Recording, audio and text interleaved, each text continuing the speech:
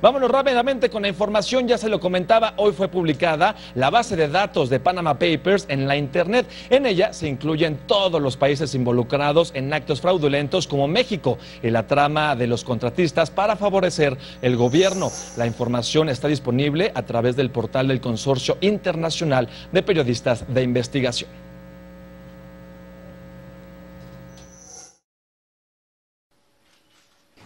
Te invitamos a seguir cuestionando la información con los siguientes videos.